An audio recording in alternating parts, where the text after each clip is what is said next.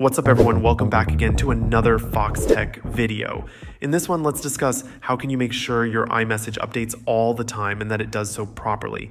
There are some things that need explaining, so let's begin. First, let's cover the essential requirements. To sync your iPhone messages to your iPad and other Apple devices, make sure all your devices are running the latest version of iOS, which should be iOS 14 or later.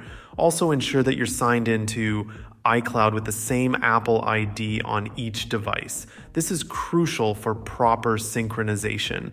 On your iPhone, navigate to the Apple ID settings by tapping on your name at the top of the settings menu.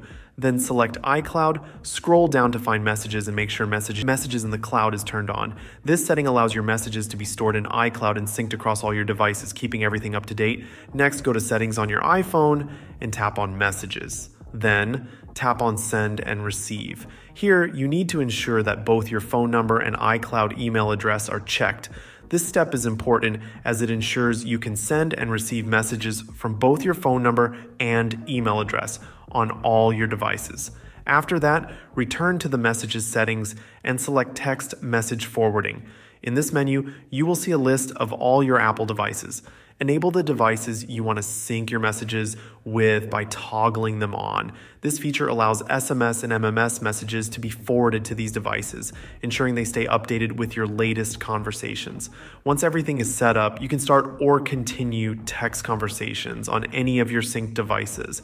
Whether you're using your iPhone, iPad, or Mac, your messages will sync across all devices. This includes both iMessages, the blue bubbles, and regular text messages, the green bubbles, as well as MMS messages like photos and other multimedia content. It's important to note that to send text messages, you need a carrier plan and a SIM card. This is necessary for sending SMS and MMS messages. However, for internet based messaging without a carrier, you can use iMessage, which works over Wi Fi or cellular data. By following these steps, you can ensure that all your messages are in sync across your Apple devices, making it easier to keep track of your conversations no matter which device you're using. Thank you so much for watching. If you found this tutorial helpful, please give it a thumbs up and don't forget to subscribe to Fox Foxtecc for more tech tips and tutorials.